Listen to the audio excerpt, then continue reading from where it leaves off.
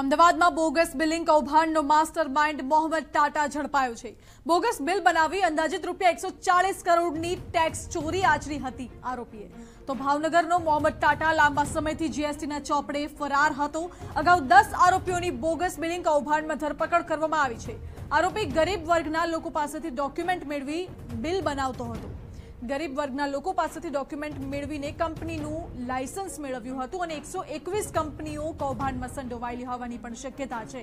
તો રૂપિયા સાતસો ને ઓગણચાળીસ પોઈન્ટ ઓગણત્રીસ કરોડના બોગસ બિલ બનાવી એકસો ચાળીસ કરોડની ટેક્સ ચોરી કરી હતી આરોપીએ. જીએસટી વિભાગે કુલ સાહીઠ કરોડથી વધુની રિકવરી કરી લીધી છે. તો બોગસ બિલિંગ કૌભાંડનો માસ્ટર માઇન્ડ કહી શકાય મુખ્ય આરોપી મોહમ્મદ ટાટા ઝડપાયો છે. અગાઉ દસ આરોપીઓની ધરપકડ કરવામાં આવી હતી. અમલવારી બાદ રાજ્યમાં બોગસ બિલિંગ કરીને કૌભાંડ આચરવાના અનેક કિસ્સાઓ વધી રહ્યા હતા અને એ પૈકી સૌથી મોટું કૌભાંડ જે આચરવામાં આવી રહ્યું હતું, એના માસ્ટર માઇન્ડને પકડવામાં સ્ટેટ જીએસટીને સફળતા પ્રાપ્ત થઈ છે. સ્ટેટ જીએસટીના એડિશનલ કમિશનર શ્રી આપણી સાથે છે, એમની સાથે વાતચીત કરીએ. મિલિંદ કા- કાવટકર સરજી. સરજી, કેવી રીતના સમગ્ર કૌભાંડ આચરવામાં આવતું હતું અને કેવી રીતના જીએસટી વિભાગને આ સંદર્ભની અંદર સફળતા પ્રાપ્ત થઈ છે? એટલે ગરીબ તબક્કાના લોકો ના ડોક્યુમેન્ટ્સને આધારે એમને નામે ફ્રોડ્યુલન્ટ જીએસટી નંબર લેવાતા. આવી બધી પેઢીઓ ઊભી કરીને એમાંથી બિલ્સ ઇસ્યુ કરવામાં આવતા અને એ બિલ્સની ચેન થકી બેનિફિશરીઝ સુધી ફ્રોડ્યુલન્ટ આઈટીસી પહોંચાડવામાં આવતી અને એ આઈટીસીનો બેનિફિટ લઈને લોકો પોતાની વેરો ભરવાની જવાબદારી ટાળતા. એટલે આવી રીતે આ સમગ્ર કૌભાંડ આચરવામાં આવતું હતું.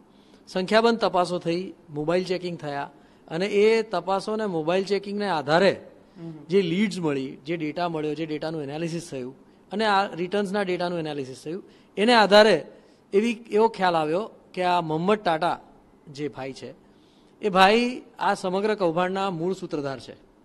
અને આવું કૌભાંડ કરીને આમણે એકસો ચાલીસ કરોડથી વધારે રૂપિયાની રકમની આઈટીસી ફ્રોડ્યુલન્ટલી પાસ ઓન કરી છે. એટલે એવું ધ્યાને આવ્યું, તો એમના રહેઠાણના સ્થળે પણ તપાસ આપણે કરી. અને તપાસ દરમિયાન મળી આવ્યા નહીં. તો પછી એમને સમન્સ આપીને બોલાવ્યા, પણ એ આવ્યા નહીં. અને એ સતત આ જે કાયદાની પ્રક્રિયા છે, તેનાથી નાસ્તા ફરતા હતા. અને એટલે એવું લાગ્યું કે આ પ્રકારે આ વ્યક્તિએ હજુ પણ બીજા સ્કેમ્સ કર્યા હોય, તો એને જબ્બે કરવો આવશ્યક છે ને એણે શું કર્યું અને સરકારી તિજોરીને શું નુકસાન કેવી રીતે પહોંચાડ્યું એ વ્યવસ્થિત રીતે સમજવું આવશ્યક છે. અને જે લોકો આનો લાના લાભાર્થીઓ છે, એમની પાસેથી પણ યોગ્ય રિકવરી કરવા માટે આ બધું જાણવું આવશ્યક છે. એટલે એ એ વોચમાં હતા. અમને ખાનગી રાયે માહિતી મળી, બાતમી મળી કે ભાઈ અમદાવાદમાં છે. એટલે અમદાવાદમાં અમારી ટીમો કાર્યરત હતી. અમારા ત્રણ સિનિયર કક્ષાના, ડેપ્યુટી કમિશનર કક્ષાના અધિકારીઓ, ન્યા- ની લીડરશિપ હેઠળ અમારી નીચે આસિસ્ટન્ટ કમિશનરોની છ આસિસ્ટન્ટ કમિશનરોની ટીમ કામે લાગેલી હતી. અને એવી રીતે એમને આપણે ગઈકાલે એસજી હાઈવે ખાતેથી એરેસ્ટ કર્યા. આ કેસની અંદર લીડ ક્યાંથી મળી? કઈ પહેલી એવી કડી હતી કે જેના કારણે આ કૌભાંડ સુધી પહોંચવામાં જીએસટીને સફળતા એટલે સૌથી પહેલા મને લાગે છે બે હજાર વીસમાં બે મોબાઈલ સ્ક્વોડની અમારી જે ટીમ હતી, એમણે જે બે વાહનો પકડ્યા હતા, એમ, એની સાથે સંલગ્ન ડોક્યુમેન્ટ્સ અને બિલ સંદિગ્ધ જણાયા. એટલે એની પાછળથી પછી ચેન ખુલતી ગઈ અને ચેનને આધારે પછી અન્ય પેઢીઓના નામ ખુલ્યા. જે પણ, જેમાં તપાસ થતા એ બોગસ જણાઈ.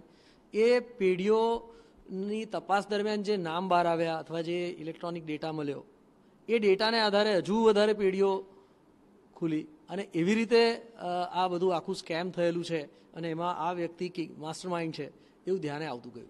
તો આ મહમદ ટાટા કોણ છે ને એની સાથે કેટલી મોટી ટીમ છે કે જે સંકળાયેલી છે?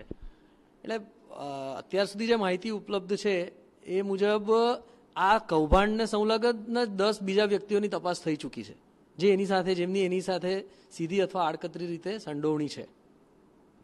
એટલે એ દસ વ્યક્તિઓ તો થયા છે એ સિવાય અન્ય ઈસમો પણ હોઈ શકે. હજુ તપાસ હજુ હજુ અમારે તાબે તો એ વ્યક્તિ હજુ હમણાં આવ્યા છે. એટલે હવે જોઈએ આગળ કે શું છે અથવા કેટલા લોકો ઇન્વોલ્વ છે. જે લોકો આ પ્રકારના કૌભાંડ આચરતા હોય છે કારણ કે રાજ્યમાં અનેક પ્રકારના કેસ વારંવાર સામે આવતા હોય છે. એમના માટે જીએસટી શું કંઈ કહેશે કે જે પ્રકારના કૌભાંડો આચરી રહ્યા છે બોગસ બિલિંગના? એટલે કૌભાંડ તો આચરનારને આપણે શું કહીએ? ચેતવણી. એટલે હા એટલે એ તો વહેલા મોડા અમે એમના સુધી પહોંચી જ જઈશું. એ એ ચોક્કસ બાબત છે. પણ જાહેર જનતાને એવું કહીએ કે એવી એમને વિનંતી કે પોતાના ડોક્યુમેન્ટ્સ આપે તો એની પૂરતી તકેદારી રાખે. કોઈ લોભ લાલચમાં આવીને પોતાના ડોક્યુમેન્ટ્સ કોઈને આપે નહીં કારણ કે સરકારી તિજોરીને મોટું નુકસાન એનાથી થાય અને તેઓ પોતે લીગલ પ્રોબ્લેમ્સમાં અટવાય. એટલે એક તો એવી વિનંતી. અને બીજી બાબત એવી કે આનો લાભ જે કોઈ લે છે, એ બેનિફિશિયરી સુધી અમે ચોક્કસ પહોંચીને વેરો વસૂલીશું જ, એવું બધા યાદ રાખે. અને એટલે આવું કોઈ, આવી રીતે કોઈ બિલિંગ કરવા પ્રેરાતું હોય, તો આ દાખલો જોઈને શીખે. એટલું જ ઓકે સમગ્ર દેશમાં સૌથી વધારે આપણી ગુજરાત જીએસટી એ અત્યાર સુધીમાં આવા કૌભાંડીઓને પકડ્યા છે હા, બિલકુલ. આપણે ત્યાં આવી બાબતોમાં સ્ટેટ, ગુજરાત સ્ટેટ જીએસટીએ પંચાણું એરેસ્ટ કરી છે. તો આ પ્રકારના જે કૌભાંડો કે જ્યાં બોગસ બિલિંગના આધારે કૌભાંડ આચરવામાં આવે છે, એની અંદર જીએસટીને અત્યાર સુધી ખૂબ મોટી લીડ મળતી આવી છે. પંચાણું લોકોની આ પ્રકારના કેસની અંદર ધરપકડ થઈ ચૂકી છે અને અત્યારે હાલ મોહમ્મદ ટાટા નામના વ્યક્તિની પણ ધરપકડ કરી લેવામાં આવી છે. આજ સાંજે એમને જીએસટીની અંદર કોર્ટની અંદર પણ રજૂ કરવામાં આવ- આવનાર છે. સૌથી મહત્વની વાત એ છે કે જે ગરીબ લોકો છે કે જેમના દ્વારા આ પ્રકારે ખોટા ડોક્યુમેન્ટ્સ આપવામાં આવતા હોય છે. એમને ખાસ તો સૂચના આપવામાં આવી રહી છે અથવા તો જાગૃત કરવામાં આવી રહ્યા છે કે તેઓ આવા લેભાગુ તત્વોને કોઈ પણ જાણકારી વગર પોતાના ડોક્યુમેન્ટ્સ ના આપે, નહીં તો આ પ્રકારની ચાહે કંપનીની વાત હોય કે પછી એમના ડોક્યુમેન્ટ્સનો દુરુપયોગ થઈ શકે છે.